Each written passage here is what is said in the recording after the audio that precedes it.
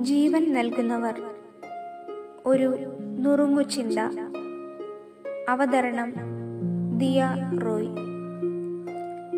ചില ജീവികളുണ്ട് സ്വയമില്ലാതായി മറ്റുള്ളവർക്ക് ജീവനാകുന്നവർ. സ്യൂഡോസ്കോർപ്പിയൻ എന്ന തേൾ ഭക്ഷണം കിട്ടാതെ വരുമ്പോൾ കുഞ്ഞുങ്ങൾക്ക് വിശപ്പ് മാറ്റാനായി തന്റെ ശരീരത്തിലെ നീരു വലിച്ചു കുടിപ്പിക്കാൻ അവയെ പ്രേരിപ്പിക്കാറുണ്ട്. ഇതുപോലെ തന്നെ ജീവൻ നൽകുന്ന മറ്റൊരു ജീവിയാണ് ബ്രൂണയിലും മലേഷ്യയിലും കാണപ്പെടുന്ന എക്സ്പ്ലോഡിംഗ് ആൻഡ്.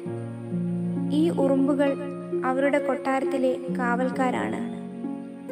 അതിബലവാനായ ശത്രുക്കളെ തുരത്തി കോട്ടയ്ക്കുള്ളിലെ മറ്റ് ഉറുമ്പുകളെ രക്ഷിക്കാൻ തന്റെ ശരീരത്തിലെ ഒരിനം കെമിക്കൽ ഒരുതരം എക്സ്പ്ലോഷനാക്കി മാറ്റി ശരീരം പൊട്ടിത്തെറിപ്പിച്ച് അവൻ ഇല്ലാതാകുന്നു.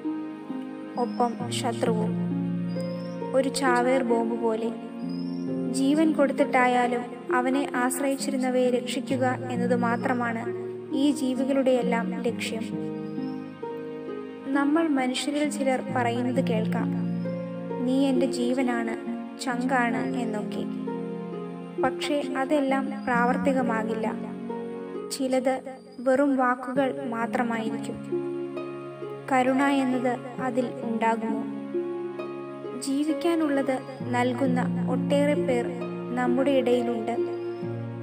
എന്നാൽ ജീവൻ നൽകുന്നതും ജീവിതം നൽകുന്നതും കുറച്ചു പേർ മാത്രമാണ്. സ്വയം സുരക്ഷിതത്വവും സുരക്ഷയും ഉറപ്പുവരുത്തി പരിധിക്കുള്ളിൽ നിന്ന് സഹായിക്കുന്നവരുമുണ്ട്. സ്വയം മറന്ന് സംരക്ഷണ ദൗത്യം ഏറ്റെടുക്കുന്നവരെ എന്തു വിളിച്ചാണ് നാം ആദരിക്കേണ്ടത്. എല്ലാവരുടെയും മുകളിൽ സ്ഥാനം നേടാൻ എളുപ്പമാണ്. പക്ഷേ എല്ലാവരുടെയും ഹൃദയത്തിൽ സ്ഥാനം നേടാനാണ് ബുദ്ധിമുട്ട്. ഒരാൾക്ക് എക്കാലവും മറ്റുള്ളവരെ ജീവൻ പോലെ സ്നേഹിക്കാൻ കഴിയുമോ?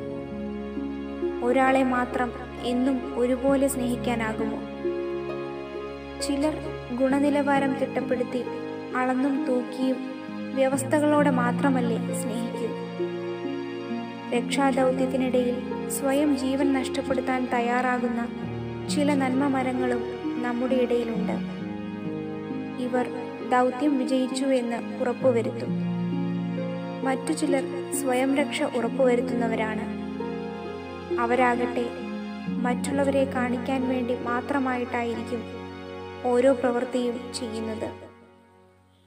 മറ്റൊരാൾ കൃതജ്ഞതയോടെ എഴുതുന്ന സ്മരണികയിൽ സ്ഥാനം പിടിക്കാൻ കഴിയുമ്പോഴാണ് എല്ലാവരുടെയും ജീവിതത്തിന് അർത്ഥവും സംതൃപ്തിയും ഉണ്ടാകുന്നത്.